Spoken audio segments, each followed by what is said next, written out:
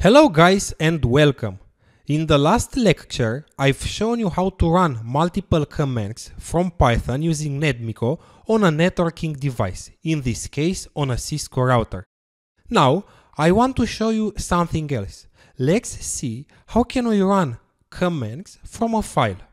I have the same topology, so we have a Cisco router, we are directly connected to that router, we have a TCP IP connection with that router and SSH is working.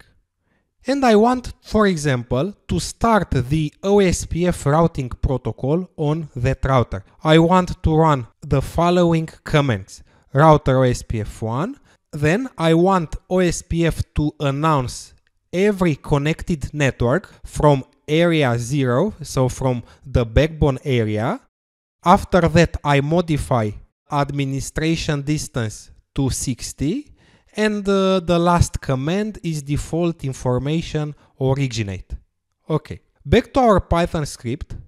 This is uh, the script from uh, the last lectures.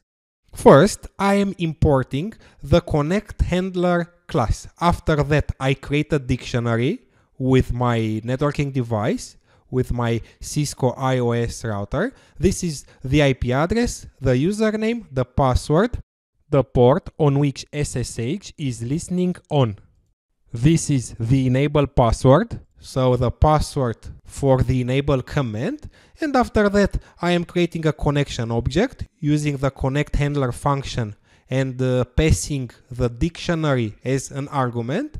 And I am entering the enable mode by calling the enable method. Before disconnecting, I want to run each command from this file.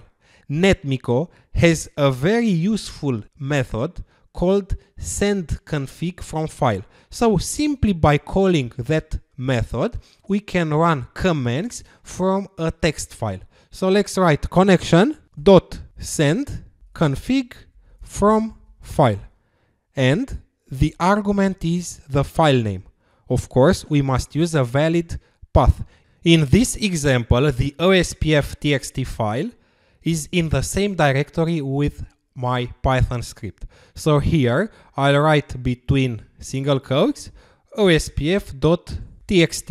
Simultaneously, I'll connect using PuTTY and SSH to my router.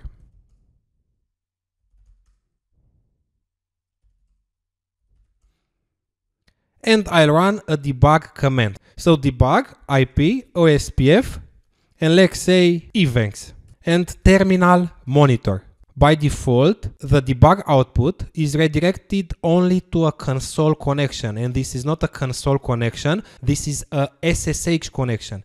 So terminal monitor is required.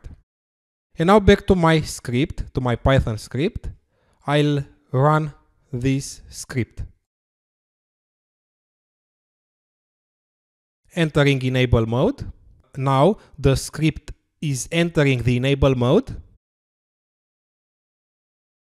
And the commands have been executed. So here we can see how it created the OSPF process one, how it ran the network command, and uh, all other commands. Of course, if I run show IP protocols, I can see here the OSPF1 process. If we want to see the commands, we can take the output in a variable, let's say output, and print output. And here we can also have a print message, let's say running commands from file. And I'll run the script one more time.